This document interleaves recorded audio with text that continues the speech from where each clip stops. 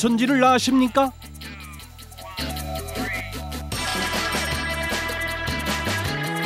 영생이 있다고 믿습니다. 영생이라는 것이 별겁니까? 안 좋은 영생이지? 신천지에서 사람 잡아 가다 놨습니까? 하나님의 부들이 내놨습니까? 폭행, 가출, 부모까지 고소한다는데 강도 폭행 네 번을 고소받았다 고소를 24년간 감춰져 있던 신천지의 비밀을 PD 수첩이 공개합니다. 내 개시감을 느낀다 이 새끼야 내가 이 새끼야 이 새끼야 이 새끼야 하나님이 아버지, 아버지 그러지 마시라고. 왜 이래? 아이, 아버지 그러지 마시라니까 왜 그러세요?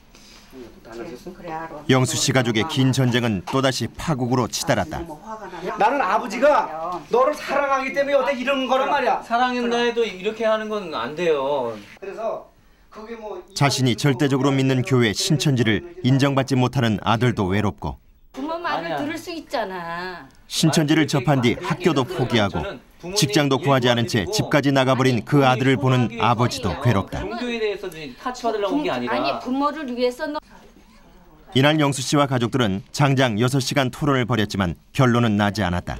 저는 그게 마음이 아파요. 왜 자식을 낳았으면은 자식이 좀 원하는 대로 좀 가. 정훈이도 가잖아 자기도. 나보고 가잖아. 나도 가고 있다고 좀. 공부하러 가는 거야. 공부하러 공부하러. 나도 공부하고 자 해요. 그 지금 여기 종교에 대해서는 관여할 게 아니라니까 그런 원이라고 해도.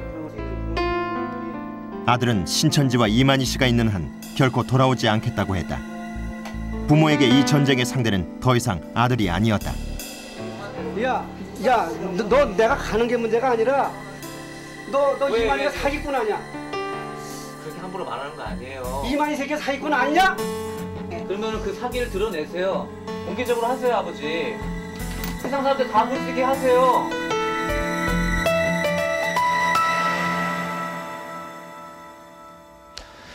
안녕하십니까 송일준입니다.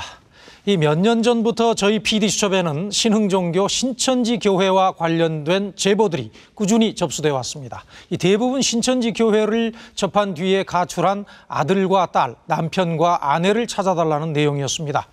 아, 신흥종교 어, 신천지는 특이한 전도 방법으로 교세를 확장해 왔는데 교인이 4만 5천에 달한다고 주장합니다. 그런데 왜 이 교회 교인들 중에는 집을 나간 사람들이 그렇게 많은 것일까요? 아, 그동안의 제보를 바탕으로 신천지 교회의 비밀을 취재했습니다.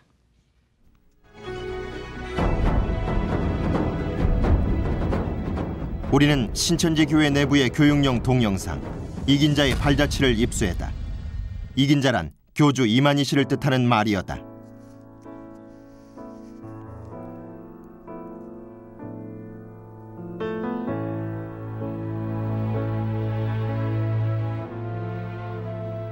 동영상은 제목 그대로 이만희 씨의 일생을 소개하는 내용을 담고 있다. 신천지 교회는 현재 교인의 수만 무려 4만 5천여 명에 육박하고 전국 각지에 130여 개에 달하는 교회와 그 부속 기관을 갖추고 있다. 지금의 교주 이만희 씨가 바로 23년 전 신천지 교회를 창립한 장본인이다. 10여 년에 걸친 기성종단의 맹렬한 이단 시비에도 불구하고 강력한 카리스마를 발휘하며 오히려 일치월장 교세를 확장시켜 왔다.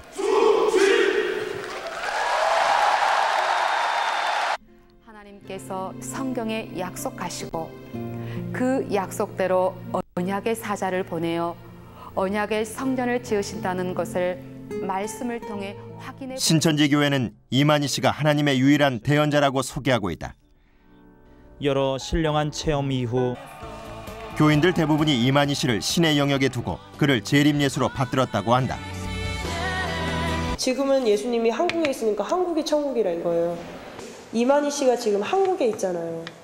그러니까 성경에서 나오는 좋은 장소는 다 한국이 되는 거예요. 거기서. 2002년 월드컵 4강 이렇게 나갔을 때도 다 이만희 씨가 한국에 있어서 그렇게 된 거라고 열광하고 한류 열풍도 이만희 씨가 한국에 있기 때문에 지금 일어나는 열풍이고 무엇보다 이만희 씨가 교인들에게 어떤 설교를 하는지 궁금했다. 교회 신도로 가자 일요 예배에 참석해 보기로 했다. 그런데 오른쪽으로 명찰 명찰 명찰 명찰 10분쯤 10분쯤 두분 다 없으세요 10분쯤 신천지인임을 입증하는 아이디 카드가 없으면 교회엔 입장조차 할 수 없었다. 그리고 지난 4월 26일 서울 강남의 한 예식장.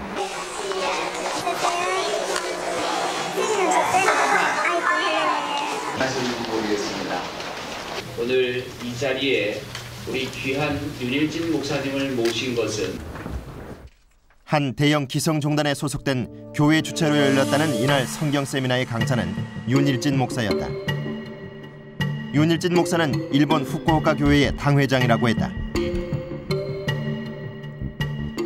아니 목사님 후쿠오카에 어디 어디 교회에 계세요? 아 후쿠오카에 있는 엘린 교회? 그 대한예수교 장로회 그 목사님 혹시 윤일진 목사님이라고 계시나요? 윤일kim 진요? 네. 없는데. 없어요? 네. 그러나 제작진에겐 몹시 낯익은 인물인 윤일진 목사.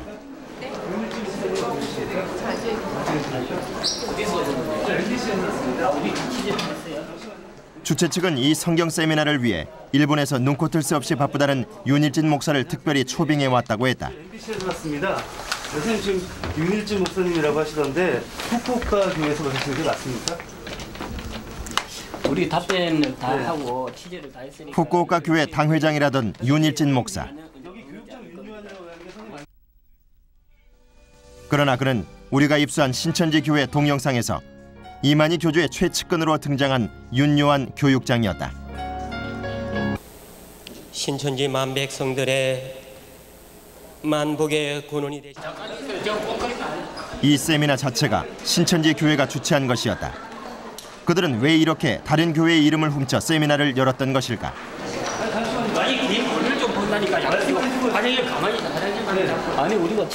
취재진의 거듭된 질문을 회피한 채 그는 사라졌다. 누구에게나 열려 있어야 할 교회는 신천지 교인임을 증명하는 아이디 카드가 없으면 출입조차 할 수 없고 교회 바깥 세상에선 일반 교인에서 간부까지 철저히 신분을 위장한 채 활동하는 신천지. 신천지 교회는 그렇게 베일에 쌓여 있었다. PD 수첩에 접수된 100여 건의 신천지 관련 제보들은 대부분 가출한 자녀를 찾아달라는 호소였다. 유독 교세가 급격히 확장됐다는 호남 지역엔 피해자 모임도 결성돼 있었다. 그런데 그들은 제작진에게 신분 증명을 요청했다. 찍어놨으면 좋겠는데. 아, 아, 제 신분증을 보여드릴까요 그러면? 아니 신분증도 얼마든지 이조가 가능하잖아요. 제가 회사 법인 않고 보여드리겠습니다. 아니 아닙니다. 신천지와 자녀들에게 너무 많이 속아 이젠 아무도 믿을 수 없게 됐다고 했다. 제가 많이 아프게 됐었어요. 그랬는데 병원에를 따라가지고 의사 앞에 가는 동안에 이렇게 가지고 이제 도망가 버리더라고요. 데리고 갔는데 차가 이렇게 이렇게 가고 있는데 차에서 뛰어내려 버리더라고요. 아이고 소 신천지 요래만 이렇게 가슴이 벌렁벌렁한 그런 게 생겼어요. 내가 신천지 때문에 경찰서를 한 20분도 더, 더 들어다녔어. 큰 소리 쳐도 그 폭행이고 욕에도 폭행이고 다도 폭행이고 미로도 폭행이고 참말로 그 사람 때문에 내가 참 농촌의 농사꾼이 법을 공부했다니까요 법을. 과천의 신천지 교회 본부 앞에선 부모들의 1인 시위도 계속되고 있었다. 가출한 딸을 찾아 광주에서 왔다는 조 씨. 저희 딸 때문에 그리고 저쪽 분이 저기 있잖아요. 저기 계시잖아요. 어디요? 저기 뒤에. 아 저분도 그러면은 저쪽은 자기 아들이 그랬다고 아마 강원도 딸이 신천지 교회를 접한 이후 아버지 조 씨는 생계를 거의 포기하다시피 했다. 2년 전 딸은 종교적 견해가 맞지 않아 집을 나간다는 쪽지 하나만 남긴 채 사라져 버렸다. 조씨 부부는 광주와 서울을 오가며 신천지 교회 앞에서 1인 시위를 계속했지만 딸의 얼굴조차 한 번 보지 못했다. 따님이 어디 있는 줄은 아세요? 모릅니다. 2005년 10월 19일 날 나간 이래로 들어온 적 없어요. 없고 가끔 필요하면 이제 전화를 할 때가 있어요. 언제까지 1인씩 계속 하실 겁니까? 내 딸이 돌아오거나 제가 죽거나 취재를 시작하자 신천지 교인들이 하나둘 나타났다. 그들은 취재진과 시위 부모들을 촬영하고 있었다. 그리고 잠시 후 신천지 본부에서 부모의 시위를 지켜보고 있었던 듯 아들 영수 씨가 모습을 드러냈다. 학교도 안 다니면서 말이야. 어머니 말고 집에 여기 안 있고 여기 있으니까 이 자식이 지금 집에 있을 저거야? 아니 엄마가 지금 멀쩡히 혼자 살아있는데 왜 돌려달라고 그래 얘가 우리 아들이에요. 아들이 이렇게 말이 안 통해요. 집에 안 들어간 지 지금 몇 달 됐어요. 집에 안 들어간 게 아니라 왔다 갔다 했는데 뭘 왔다 갔다. 한 지금 한 6개월 7개월 정도 됐죠 근데 그거는 제가 자취를 하고 있으니까 상관이 없는 건데 어머니 아버지는 자취한 게 아니라 집에 들어오면 또 이런 얘기 하신다 자취한 게 아니라요. 자취가 아니고. 아유, 내가 얘기할까요? 아 그만해 그만하고 저저저 시온 농장 이런 데 컨테이너 박스에 얘가 있었던 데입니다. 아니 뭐 그런 그런 시온 거는 농장 이런 데 가서 아 근데 어디 있든 상관은 없는데 저 뭐냐 저 연세대학교 교- 해병대 출신의 믿음직한 아들이었던 영수 씨는 지하철에서 신천지 교인에게 전도됐다. 이후 학교도 휴학하고 집을 나갔다. 부모님과 영수 씨의 승강기를 지켜보던 신천지 교인들이 대화에 끼어들었다. 영수 씨는 더욱 강하게 자신의 의지를 피력했다. 집으로 보내달라 그러는데 우리가 잡은 적도 우리가 잡았니? 아이고 이 양반. 원해서 있는 거지 누가 잡아 그리고 이게 사람이 그리고 2천 명이 당신 지금 몇 살이냐? 여보시오. 몇 살이냐면 아니 몇? 살이냐면은 당신 지금 뭐- 28, 대변이냐? 29된 아. 가셔, 우리가. 이것을 이런 사람을 잡고 있는 거예요 지금 이렇게. 내가 지금 오히려 집에 가라고 떠밀고 있어요 지금. 아유 얘 기운은 당해? 아유 이 세, 사람. 세 분이서 나를 붙잡고 나, 놔주질 않는 거예요 도대체 신천지 교회의 어떤 점이 28살 청년 영수 씨를 그토록 매료시켰던 것일까? 학교, 직업, 가족과 맞바꾸어도 좋을 만큼 그것은 매력적인 것이었을까? 님이 그 육체적인 영생은 하신다고 했는데 그 그것도 그럼 그 아드님은 그 믿고 계신 건가요? 그럼? 이제 그 말씀대로 이제 조금씩 이루어지는 거기 때문에 믿고 있는 거죠 아 영생하신다는 예, 것을. 그렇죠 영수 씨는 교주 이만희 씨의 영생을 굳게 믿고 있었다. 지난해 설날 처음 이만희 씨를 만났다는 수경 씨도 같은 생각을 했었다고 한다. 되게 직접 봤어요? 네, 되게 두렵고 떨리는 마음으로 봤고요. 그래서 그때 만났을 때도 저한테 이렇게 영생 그렇게 사인을 해줬거든요. 영원 영원히 산다는 그 영생. 이 육으로 영원히 산다고 믿잖아요. 거기 사람들은. 그래서 영생을 축하한다고 저한테 영생권까지 이렇게 줬어요. 진짜로 이만희 그 교주님이 영생한다고도 믿으세요 그 안에서는? 예, 믿어요. 그러니까 뭐 저기 뭐 영적으로 영생하는 게 아니라 몸이. 갖고 영생한다고. 예. 세뱃돈 5천 원과 함께 이만희 씨가 직접 써주었다는 영생권. 우리는 신천지 교회 측에 교주 이만희 씨와의 정식 인터뷰를 요청했다. 인터뷰는 이만희 씨의 자택에서 진행됐다. 부인과 함께 살고 있다는 이 아파트는 전세라고 했다. 신천지 측에선 4만 5천 신도를 이끄는 교주님 치곤 지나칠 정도로 소박한 삶이라고 강조했다. 우리는 무엇보다 이만 씨가 자신을 재림 예수라고 칭했는지 궁금했다. 그 사람은 박사다 그죠? 재림 예수라는 거 그렇게 가는 거 보니까 지가 재림 예수냐 했는데 물어봤는 거 나한테? 물어봤다 그래요? 참, 나이 답답한 사람들이에요. 그거 예, 들어보세요. 그거는 날 속이려 하는 게 아니고 예? 기자장만 속이려 하는 소리겠지. 그렇다면 교인들이 믿고 있다는 그 영생은 어떻게 된 것일까? 총 회장님은 영생 그런 거 얘기한 적도 없고 재림예수라고 자칭하신 적도 없고 그런데 신도들이 되게 오해들을 많이 하고 계신 것 같아요. 내가 영생이나 미는 게 없다 있다 그런 게 아니라 아까 내가 설명한 그대로거든요. 아까 제 성경 말씀대로 그러면은 총 회장님께서 영생할 수도 있다 그런 얘기죠. 나를요? 아니 하나님이 오래 살아가면 살기고 음, 그럼 죽을 것이지 자기가 뭐 더 살고 있다고 더 살고 그런 건 아니 근데 신도들은 이제 총 회장님께서 영생 한다라고 강하게 믿고 있어서. 그러면 그 막걸리 봐줘야죠. 고마우니까. 그러나 우리는 신천지 내부의 각종 책자와 서류 등을 통해 교인들이 영생을 강하게 믿도록 만드는 문구들을 어렵지 않게 발견할 수 있었다.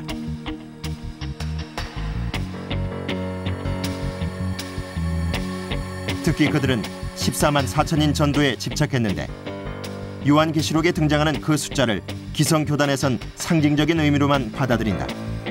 그러나 신천지에선 14만 4천 명을 전도하는 것이 핵심 교리 중 하나다. 이 서류는 이만희 총회장의 특별 지시 사항이 담긴 공문이다. 여기엔 신천지에 14만 4천 명의 교인이 참여한 영계와 결혼되고 인류가 신천지 만세를 부를 것이라는 내용이 포함돼 있고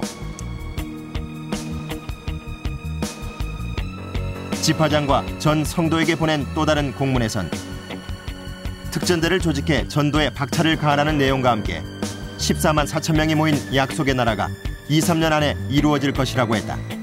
14만 4천 명이 모이면 어떻게 된대요? 첫째 부활이 있고 어, 그 사람들이 영생을 얻는다라고요. 14만 4천. 예, 14만 4천이 영원히 산다 그래요. 영원히. 그게 다 채워지면. 그러니까 그렇게 전도를 기를 수가 하려 하는 거예요. 14만 4천 빨리 채워져야 내가 영원히 살 거 아니에요. 안 죽고. 14만 4천에 들으면 그 권세가 어느 정도냐면은 14만 4천에 들면 그 옛날 사람들이 말씀을 들으려고 다 찾아온다는 거예요. 찾아오는데 그때는 돈을 돈을 주고 찾아온다는 거예요. 그러니까 전 세계에 있는 그 돈들이 다 신천이 돈이 되는 거죠. 친구들, 그러니까 제 인도자가 보내줬던 거는 이런 거. 14만 4천 명은 각각 나라와 제사장이 되어 세계를 다스리게 된다고도 했다. 그리고 제 인도자 이렇게 보내준 거라서. 저희 부모님이 제가 신천지에 빠진 거 알고 3개월 동안은 엄마가 수면제가 아니면 잠을 못 주무실 정도로 그러니까 눈이 맨날 충혈, 충혈돼 있었고 그리고 막 결국에는 병원에 입원까지 하셨거든요. 쓰러지셔가지고. 그래서 그게 저 때문인 거 알면서도 병원에도 자주 못 갔어요. 더 큰 효도는 내가 신천지에 14만 4천인에 들어가서 나라와 제사장이 돼서 나를 통해 우리 가족들이 다 구원을 받는 거 그거 하나면 저한테는 충분했거든요.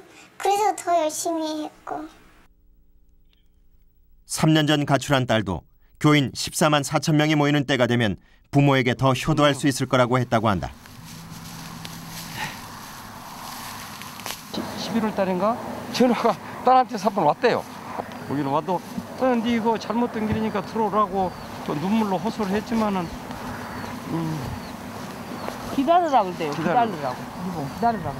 그럼 언제까지 언제까지 기다려야 될 거냐. 뭐 어디 있다 그런 얘기도 없고요. 오, 아이고, 예? 지 전화가 찍히까니 대전에가 있다. 그러면 부산으로 가서 전화를 한대요. 그 번호가 찍히까니. 그러니까 완전히 지금 있는 그 위치를 노출을 안 시키려고. 교인 14만 4천 명을 채우는 것이 신천지 교회의 목표다.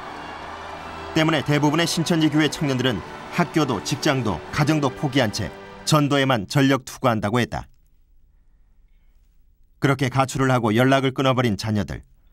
남은 부모가 할 수 있는 건 교회 앞에서 1인 시위를 벌이는 것이 전부였다. 빠졌을 때 저 같은 경우는 완전 가장 모든 생업을 다 포기하고 개만 찾아서 다니기를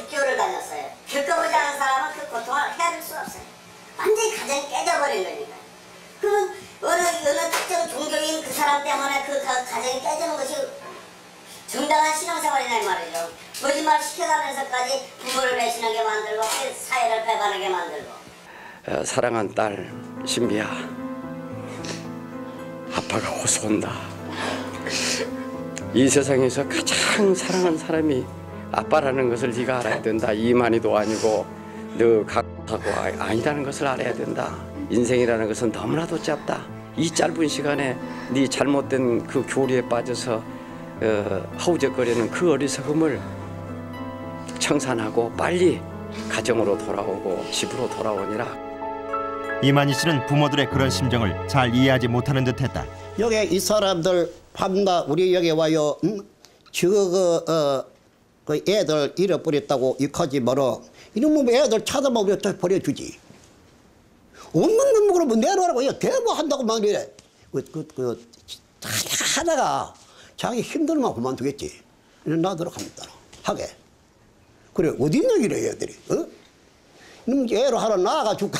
생각해보시오. 이 말이 안 됩니다. 어, 이충근 PD. 어, 이만희 씨가 영생을 주장하건 아니건 뭐 그건 그쪽 자유겠습니다만은 문제는 그걸로 인해서 피해를 입는 사람들이 적지 않다 이거 아니겠습니까? 어, 신천지 측에서는 나가려고 하는 교인은 절대 붙잡지 않는다 이렇게 주장하고 있는데 사실이든가요? 네, 뭐 표면적으로는 그렇게 말을 하고 있습니다. 하지만 신천지 교회가 교인을 이렇게 전도해 오는 방식 그리고 일단 한번 들어온 교인을 나가기 어렵게 만드는 방식은 보통 교회가 사용하는 방법과는 사뭇 달랐습니다. 그야말로 수상한 신천지의 운영 방식을 알아보았습니다. 지난 주말 우리는 충격적인 문서 한 장을 입수할 수 있었다. 대학원생인 김영진 씨는 8월 미국 유학길에 오를 예정이다. 네. 우리는 박미경 씨를 아느냐고 물어봤다. 혹시 알게 되면 어떻게 알게 되신 거예요? 지난 학기에 그 평가로이라는 수업이 있는데 같은 조였어요. 근데 이제 이번 학기에 이제 우연히 지나가다 보니까 밥 한번 먹자고 그래가지고 그래서 밥 한 번 먹고 오늘은 전공 책, 책이 없는데 그 책, 책이 틀렸다고 하더라고요. 그래가지고 그 책이 필요하니까 좀 빌려달라고, 빌려달라고 해서 밥 쏘겠다. 그래서 점심 같이 먹었어요. 네. 알겠습니다. 이거를 한번 읽어봐 주세요.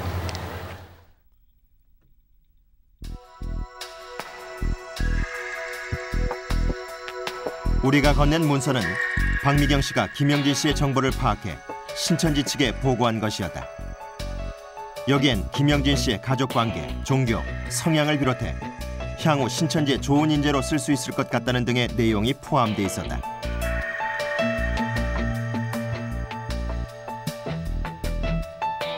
더구나 일단 전도가 되면 유학을 포기할 수도 있을 것 같다며 신천지 측에 빠른 행동을 요청하는 내용도 포함돼 있었다.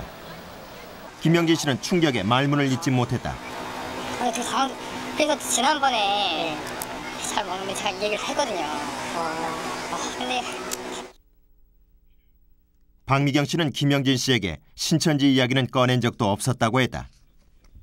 장무교를 받으라고 그래서 오늘 밥을 먹는데 누굴 데리고 오더라고요. 그 남자분은 이분이 무슨 호주에서 오셨는데 약간 좀 이상하더라고요. 꿈을 꿨는데 좀 익숙해 보이고 갑자기 오늘 또그 태초가 전 처음 본 사람인데 그렇게 말 하더라고요. 제 내용을 좀 할 줄 아는데 그 한 사람 한 형제를 찾고 있는데 그 사람 누군지 잘 모르겠다고 근데 저 보더니 어, 좀 확실히 우리 그냥 기도해보고 조만간 만나는 거 만났으면 좋겠다고 그런 식으로 하더라고요.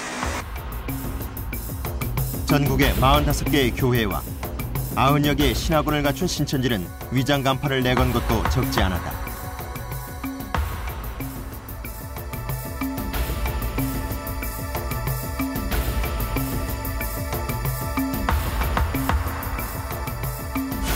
우리는 신천지가 도대체 어떤 방식으로 사람들을 끌어들이는지 체험해 보기로 했다. 겉으로 봐선 신천지 소속 교회라고는 전혀 생각되지 않는 한 곳을 찾아갔다. 우리도 신천지라는 걸 모르는 척 단지 이 교회의 교인이 되고 싶다고 했다.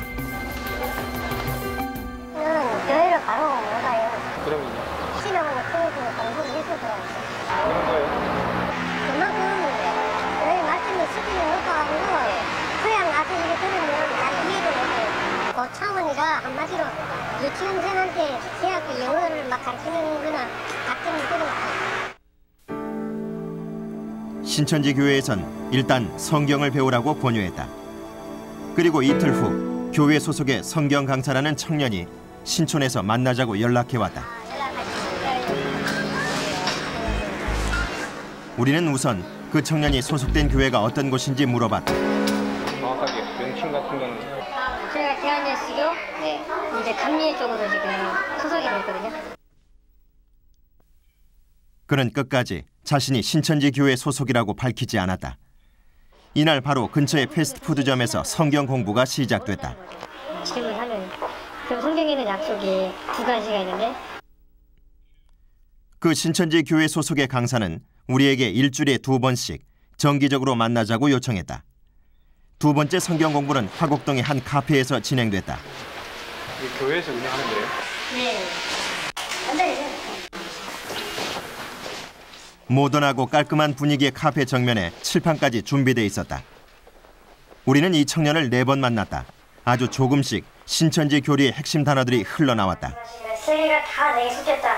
내 소유가 되고 나라와 제사장이 된다라는 것입니다. 우리는 이후 그 강사에게 PD 수첩 제작진임을 밝혔다. 그러나 그는 끝까지 자신이 신천지 교인이 아니라고 부인했다. 근데 진짜 신천지 예수교 아니세요? 그건 아니에요. 진짜 아니세요? 네, 그건 아니에요. 지난해 4월 신천지 교회를 빠져나왔다는 수경 씨를 만났다. 그녀는 1학년 여름방학 때 아르바이트 때문에 신천지에 빠져들게 됐다고 했다. 학교 선배 대신 성경 강의를 들어주는 아르바이트였다. 그 강의를 내가 두 달만 출석을 해서 듣고 정, 노트 정리도 하고 자기한테 설명을 해달라는 거예요. 그래서 저는 그냥 교회 원래 다녔고 일반 강의라고 생각을 했으니까 한 시간에 5천 원씩 해서 하루에 두 시간 강의라 그러더라고요. 그래서 하루에 만 원 받고 저 이제 처음에 아무 의심 없이 갔는데 신천지가 운영하는 신학원이었다. 수경 씨는 두 달이 지나도록 알지 못했다. 한 날짜가 끝났는데도 계속 들어볼 걸 좀 권유하더라고요. 이게 6개월 과정인데 두 달만 잠깐 들고 말 게 아니라 넉 달을 더 들은 후 수경 씨는 변했다. 마치 가랑비에 옷이 젖어들듯 열렬한 신천지 교인이 돼 있었다. 점점 그 재림주 쪽으로 맞춰진단 말이에요. 가면서 그럼 그럴 때 나는 아니라고 부정을 해도 옆에 사람들이 어 되게 신기하다고 어쩜 이런 말씀이 있냐고 이런 분위기를 유도해 내면은 모두 다 맞다고 하는데 나 혼자만 아니라고 하는 꼴이 되는 거예요. 그러니까 분위기를 그렇게 만들고 그리고 또 거기 전도사들도 와가지고 그런 분위기를 조성을 하고 신천지는 결코 신천지라고 밝히지 않는 것이 특징이다. 특히 대학가에선 종교와 관계없는 설문조사 방법이 흔히 동원된다. 지난해엔 월드컵과 관련된 설문지를 많이 썼다고 한다. 아무 의심 없이 설문에 응하게 한 후 이름과 연락처를 적게 하는 것이 설문조사의 진정한 목적이었다. 설문지가 중요한 게 아니라요. 설문지를 통해서 그 사람의 연락처를 따는, 따는 게 중요해요. 예, 아무거나 다 하는 거. 예. 믿기고 예, 믿기고 거기에 이제 연락처만 따는 거예요. 예. 엄청 끈질기게 해요. 어쩔 때 보면 진짜 귀찮아서 그냥 나갈 때도 있어요. 그 다음은 어, 뭐 어떤 식으로 진행을 하던가요? 그 다음에 그냥 같이 놀아요. 놀아요? 친해지는 거예요. 신천지에선 전도 역할을 하는 교인을 추수꾼이라고 한다. 그 추수꾼들이 자신이 신천지 교인임을 숨긴 채 가장 많이 침투하는 곳은 타 종단 소속의 일반 교회였다. 우리는 전국의 교회, 특히 대형 교회에 위장 잠입해 있는 신천지 교인들의 명단을 확보했다.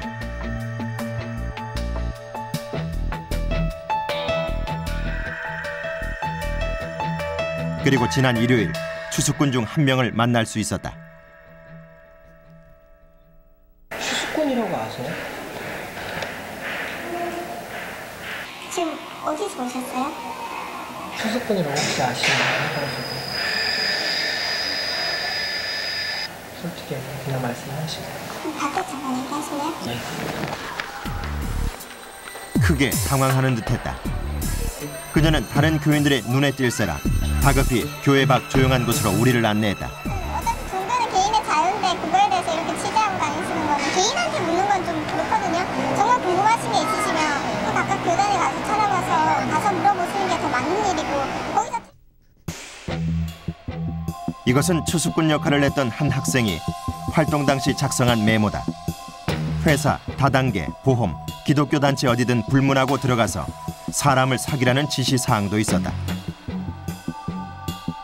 그런데 A급만 섭외, 즉 전도하라는 내용이 눈에 띈다. A급인지 B급인지 C급인지 무슨 그 고기 등급 매기듯이 사람을 이렇게 매기거든요. 우리가 확보한 신천지의 섭외 대상 등급 기준표에 따르면 2단이거나 60세 이상, 신학교 출신, 또 장애인 등이 C급으로 분류돼 있고 특히 생활궁핍자는 섭외 대상에서 제외하라는 메모도 발견됐다.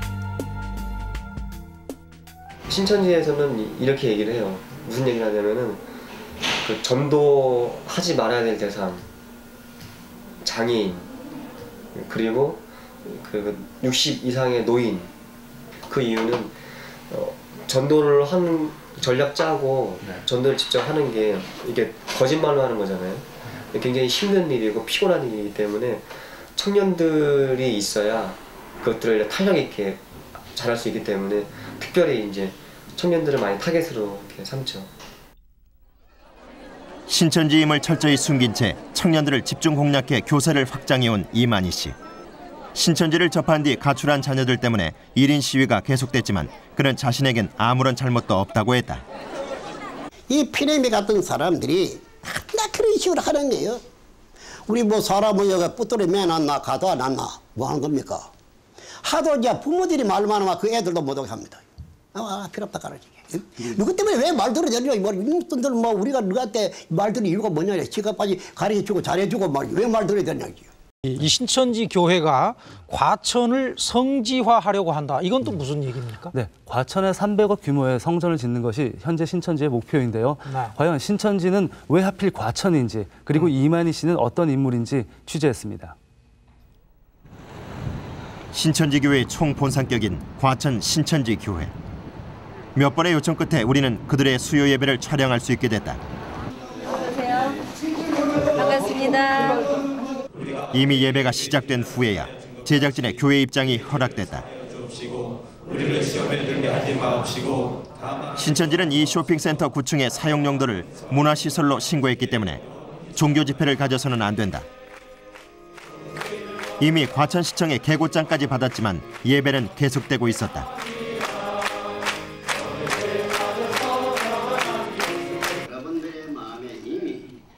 신천지 측의 자랑처럼 교인들의 숫자는 놀라울 정도였다.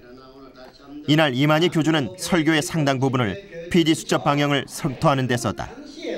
요번에 우리 여기에 뭐 조사를 온 우리 그 PD인지 이 양반 우리 양반의 말씀 좀 비웠으면 좋겠습니다.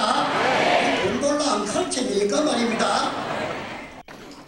그리고 제작진을 의식한 듯 신천지를 인정한 종교계 저명 인사들이 남겼다는 확인서를 강조하며 낭독시키기도 했다. 그래서 우리 여기에 신학 박사라 하는 사람들, 신학 교수라 하는 사람들이 여기에 와요 자기네들 친필로 세계에서 천하에서 최고의 진리라고 확인 사인 해놨습니다. 확인해 올리겠습니다. 확인 인정서 본인은 지난 9개월간 신천지 교회와 기독교 무료 신학원의 교리와 교재 및 증거의 말씀을 확인한 바 제작진과 인터뷰를 했을 때도 몇 번씩 강조했었다. 이 사람은 자기의 신화 있고 뭐 이걸 다 주겠다는 거죠. 이 사람이 이제 자기가 여기 와야 확인하고 배우고 했다는 걸 설명서 난 겁니다. 이 사람도 뭐 초회장이고 이 사람이 신학 총장이 그런 사람인데요. 그가 와요 자기 신학 와요 좀 가르쳐 달라고 교수 초빙을 한 것입니다. 한번 읽어보세요 여기. 예, 자기가 또 자기 거 해야잖아요. 도대체 황모 총회장은 어떤 인물이길래 이만희 교주는 그의 찬사를 이토록 뿌듯해하는 걸까? 황모 총회장이 학장으로 재직 중이라는 고려 총회 신학교를 찾아가 봤다. 4층 건물의 한 층을 쓰고 있는 듯한 그곳엔 신학교가 아닌 신학연구원 간판이 걸려 있었다. 안녕하세요. 고려 총신학교 맞죠? 이게 뭐 하는 데였어요? 모르겠어요. 그냥 그 뭐야 저렇게 간판만 이렇게 써놓고 갈 때그 간판에 안 떼가고 저 간판이 그지어요 황모 학장은 이미 10여 년 전 그곳을 황급히 떠났다고 한다. 이웃들은 그가 목사도 아니었다고 주장했다. 알고 보니까 완전히 사기꾼이더라고요. 완전히 사기. 사기꾼이야. 알고 보니까 신학생들한테도 돈을 빌려가지고 하여튼 여기서 몰래 떠나들게 되었어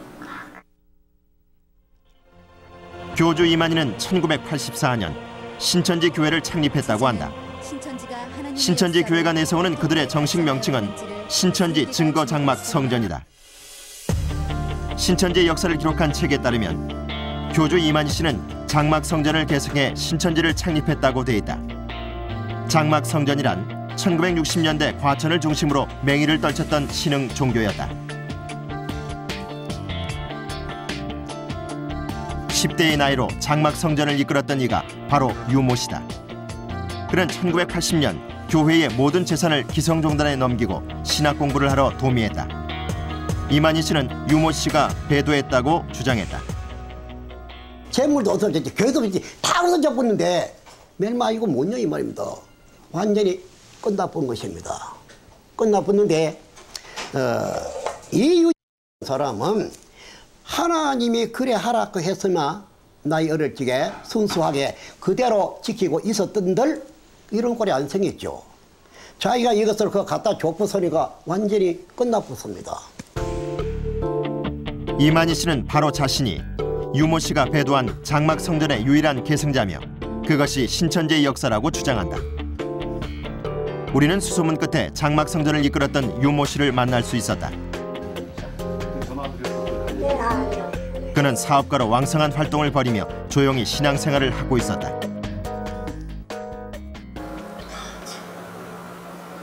그 교수님 좀 설명을 좀 해보시죠. 뭐 말의 상대가 돼야 뭐 이야기를 하든지 말든지 그래도 그런 논리가 어디서 나오는지 참좀 황당합니다. 제가. 특히 오히려 오히려 지금 오랜 세월이 지났지만 제 경우는 참 잘됐다고 생각하고 있습니다. 현재가 잘됐다. 만일에 조직대로 그대로 왔었으면 단체는 커졌겠지만 폐쇄적이고 아마 지금쯤 사회적으로 또 다른 무리를 또 일으켰을 수도 있지 않았겠느냐. 마음을 훔치는 것도 도덕아니니까. 결국 그게 더 큰 나중에 큰 문제로 발생돼서 그 지금 그러고 있는 거 아닐까요? 좀 이만의 쪽이 결국은. 이만희 교주는 장막 성전이 있던 과천에 터를 잡고 최근엔 과천을 성지화하는 데 박차를 가하고 있다. 인구 6만 명의 과천에 14만 4천 명이 들어갈 수 있는 성전을 건립하겠다는 것이 신천지 측의 꿈이자 목표다. 저는 왜 성지가 된 겁니까? 옛날에는 우리나라 왕이 어떤 집에 가서 하룻밤 자게 되면 그 집을 왕의 집이라고 그래 인정을 했어요. 안 그렇습니까? 이제 하나님이 우리 과천에 왜 한번 자고 갔다 하자. 이거 하나님 땅이에요. 우리가 입수한 이 신천지 내부 공문에 따르면 그들은 과천 성전 건축비를 약 300억 원으로 잡아놓았다. 또 각 지역 및 구의 신천지 교회 할당액을 책정, 매월 달성률까지 기록해두고 있었다. 저희 집사장 뭐라 하냐면 나는 천만 원 낼 테니까 당신들은 어떻게 해야겠어요? 그냥 이렇게 여운을. 그러니까 집사장이 엄청 못 산다는 걸 성도들 다 알아요. 그러니까 집 사장이 월급 월급이 7, 80밖에 안 되거든요. 근데 그 돈 가지고 천만 원 낸다는 말을 했, 했- 했을 때는 엄청 충격적인 거예요 성도들한테는. 모든 것을 교인들의 자율에 맡기고 재정 역시 투명하게 운영되고 있다는 이만희 교주. 그러나 헌금에 대한 부담이 만만치 않았다는 주장도 있다. 모든 헌금에 봉투가 있다는 거예요. 주일 헌금까지도. 그러니까 익명으로 하면 안 되는 거예요. 그럴 수가 없는 거예요. 왜냐면 익명으로 하게 되면 나는 헌금을 안 하는 사람이 돼버리니까. 그거는 강요하는 것보다 더 무서운 거죠. 재미있었던 게 뭐였냐면 부서별로 그거를 딱 통계를 내는 거예요. 그래서 11조 뭐, 뭐몇 퍼센트를 한 사람 그 중에서 이렇게 등수를 먹이는 거예요. 부서별로 해서 1등한 부서에게 상금 10만 원 주거나 그렇게 막 그런 경쟁 심리를 되게 유도를 했어요. 우리가 확보한 신천지 내부 공문들 중엔 이만희 교주가 장기보험 가입 금지령을 내린 것도 포함돼 있었다. 자기가 뭐 하다 알바를 했는데 그거를 이제 전액을 기부하는 아이가 있어요. 그러면은 그걸 크게 방향을 해요.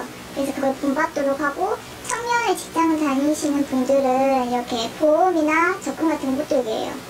그런 거 들면 이제 자기 돈 이렇게 모으는 걸 하지 말라 그러고 자기를 위해서 돈을 축적하는 건 절대 하지 말라고 해요. 신천지가 매입한 과천 일대의 땅과 건물만 해도 적지 않은 규모였다. 1998년 성전 건축용으로 2억 7천여만 원에 구입했다는 문원동 땅은 현재 시가 18억여 원. 그 땅을 비롯해 과천 일대만 1,300여 평의 토지를 보유하고 있다. 또 교회로 쓰고 있는 모 쇼핑센터 9층과 10층을 모두 182억 원에 매입했고 교회 본부로 사용하고 있는 모 쇼핑센터 4층은 42억 원에 매입했다. 모두가 낸 현금이니 이 현금은 성도들의 재산 맞죠? 네. 총회라는 재산이라는 것은 모든 성도들의 재산이라는 말입니다. 그런 거 맞죠? 그런 거 맞지? 그렇습니다. 우리가 은행의 통장도 전부 다 우리가 총회 교회 이름으로 된 통장입니다. 우리는 신천지 교회가 소유하고 있다는 과천 일대의 토지와 건물에 대한 등기부 등본을 조사해봤다. 그리고 2년 전 42억 원에 매입했다는 과천 모 쇼핑센터 4층은 교회가 아닌 이만희 씨 아들 명의로 매입한 것을 확인했다. 이만희 씨 아들은 현재 신천지 교회 내 최고위 간부인 교육장 직책을 맡고 있다. 우리가 입수한 동영상에 따르면 그 당시 이만희 씨의 아들은 교회 내 재정을 담당하고 있었던 것으로 기록돼 있다. 지난주 신천지 산하 신학원을 수료하고 드디어 성전에 입성하게 된 이들의 수료식이 열렸다. 새롭게 신천지 교인이 된 누군가는 또 가출하고 학교와 직장을 포기한 채 전력 질주하게 될지도 모른다. 거기를 전력 질주를 했어요. 근데 갑자기 길이 확 끊겨버린 거예요. 급 회전을 해서 돌아와야 되잖아요. 죽어버리는 게 낫지 않을까. 어떻게 세상을 살까. 그리고 버려버린 세월이 너무 속상하고 아깝고 이런 걸 갖고 사기 당했단 말이야. 막 이런 자책감. 지금 취재하시는 분이 감, 이- 감히 이게, 이게 상상이 안 될 겁니다. 그 길거리 가다가 저 차가 나, 달려와서 나를 좀 치여서 죽였으면 좋겠어요. 신천지 교회에 대한 취재가 마무리될 즈음 우리는 지방에 있는 가족들의 동의하에 정민희 씨를 면회 갔다. 대학을 졸업하고 직장 생활을 하던 그녀가 신천지에 발을 디뎠던 것이 3년 전의 일이었다. 스물여덟, 꽃 같은 나이의 민희 씨는 식물인간 상태였다. 식사는 뭐 참나요?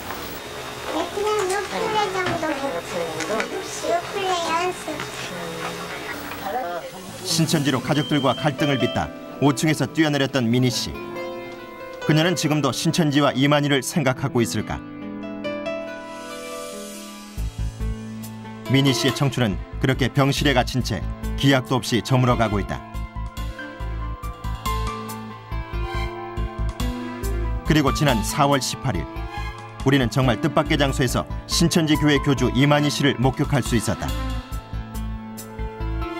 만개한 벚꽃잎 흐드러지게 날리는 가운데 교주와 여신도들의 즐거운 벚꽃놀이가 계속되고 있었다. 이 신천지 교회를 취재하면서 우리 취재팀이 가장 많이 들었던 말이 종교의 자유를 건드리지 말라는 것이었답니다. 이 종교의 자유를 내세우면 청년들이 그 소중한 인생의 황금기를 내던지고 부모 형제들을 고통 속에 빠뜨리는 것도 용인될 수 있다는 얘기인지 참으로 이해하기 힘든 노릇입니다. 아, 사입이 비슷하지만 아니다라고 하는 뜻입니다. 아, 이 교주 이만희 씨가 이끄는 신천지는 과연 제대로 된 종교인지 판단은 시청자 여러분들의 몫이겠습니다만은 영생을 운운하기 전에 인간의 도리부터 챙겨야 하지 않을까요? PD수첩 오늘은 여기서 마칩니다. 감사합니다.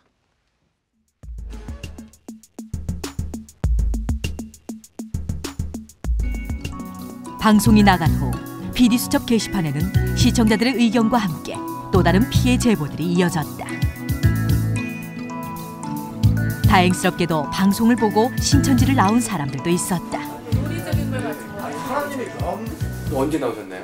이번 8월달에 8월 달에 나오셨고 2007년 8월달. 8월 달에 언제 나오셨습니까? 6월 중순이요. 그건 다 편집된 거니까 그런 거는 안 봐도 되고 만약에 이제 방송에 나오는 그 시간에 뭐 이렇게 보려고 하면은 딴 데 틀거나 아니면은 어 뭐 어디 나가자 외식하자 그런 식으로 해갖고 못 보게 해라. 피디수첩이 나옴으로 해서 신천지 내부에서는 우리처럼 저는 이제 만 3년 반 있다 나왔는데요. 그렇게 있던 사람들은 굉장히 간단해요. 그냥 전혀 이렇게 흔들림이 없는데 어, 얼마 안 됐거나 또 드디어 오려는 사람들이 많이 타격을 받았죠. 그리고 그 후에 많이 줄었어요. 방송 후 신입 신도들이 줄긴 했지만 여전히 과천 신천지 교회는 붐볐다. 하지만 경호를 더 강화하고 신도들이 불침번까지 서며 외부인 출입을 금지한다고 했다. 이탈자를 막기 위해서였다. 뿐만 아니라 언론 매체를 이용해서 PD 수첩이 거짓이라는 주장을 펴며 신도들을 설득하고 있었다. 제가요 서울로 편집국장한테 전화를 넣었어요. 서울로 보면 너네들이 주제는 장난친 거 아니냐. 그 어떻게 믿겠냐 우리 같은 경우는. 그랬더니 아 육삼필딩에서 신천지 어? 조주가 와가지고 이렇게 분명히 취재를 해가지고 한 것이 사실이다. 구역장이 갖고 있다가 구역원들한테 하나씩 주고 그것도 이제 전도용으로 사용해라. 뭐 지하철이나 뭐 어떤 버스나 이런 데다가 가만히 그냥 올려놓고 나와라. 이렇게. 요번에 우리 MBC PD가 우리에게 참 잘해준 거예요. 누가 거짓 제보를 해가지고 했던 간에 이것은 신천지 홍보해 준 것이다. 그리고 이제 요즘에 이제 인터넷에서 어, 기독교 기자들이 올려놓는 것이나 기독교 신문에 놓고 볼 것 같으면은 신천지가 그 MBC PD가 나온 것은 사실하고 다르다. 이래 나오거든요. 피디 쪽이 공개적으로는 안 했지만은 자기들한테 사과를 했다. 하여간 일단 사과했다는 거예요. 자기들 MBC 방송에서 공식적으로는 안 했지만은 그 담당한 PD나 이런 분 하지만 PD 수첩에서는 신천지 측에 어떤 형식의 사과도 한 적이 없다. 그렇다면 서울일보에 실린 문화관광부의 조사와 허위 보도 판명은 근거가 있는 사실일까?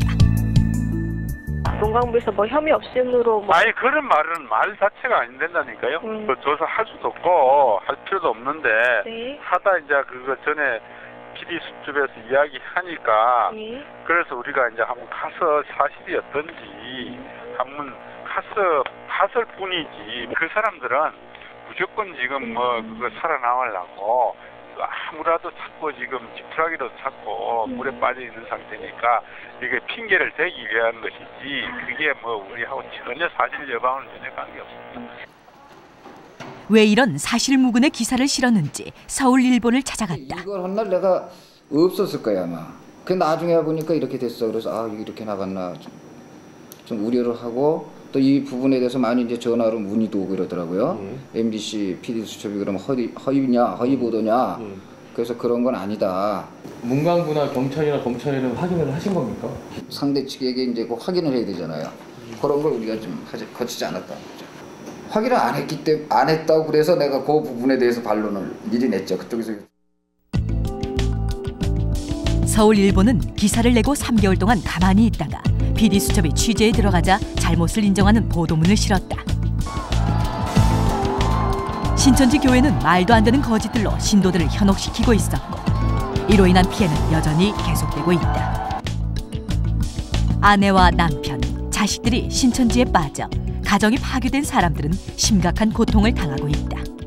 사실 부부라는 게 사랑이 없어서 살 수는 있지만 신뢰가 무너지는 것들은 정말 살 수 없다고 생각해요. 근데 그 신뢰가 처절하게 처음부터 지속적으로 너무 오랫동안 철저하게 속여왔던 그 부분 때문에 이혼을 하게 됐죠. 제가 왜, 왜 신천지라는 그런 얼토당토 않는 사이비 때문에 이렇게 1년 동안 울고불고 난리를 치고 어?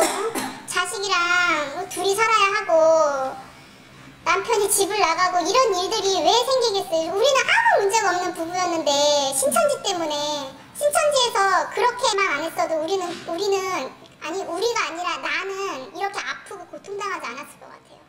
너무너무